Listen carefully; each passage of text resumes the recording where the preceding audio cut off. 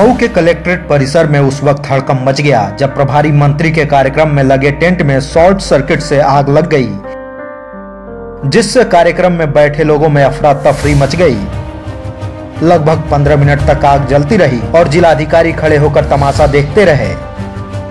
वहीं आनंद फानन में एसपी अभिषेक यादव ने फायर विभाग को मौके पर बुलाया, जिसके बाद आग पर काबू पाया जा सका।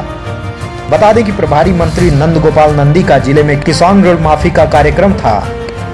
किसानों को ऋण माफ़ी का प्रमाण पत्र देने के बाद मंत्री जी जैसे ही बाहर निकले तो अचानक टेंट में आग लग गई और टेंट के नीचे बैठे किसानों में भगदड़ मच गई।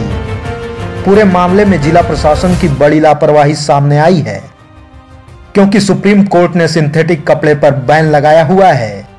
बावजूद इसके प्रभारी मंत्री के कार्यक्रम में सिंथेटिक कपड़े के टेंट को लगाया गया था। पंडाल के अंदर लगी थी बिल्कुल मंच के सामने। सर सर्किस लगी थी।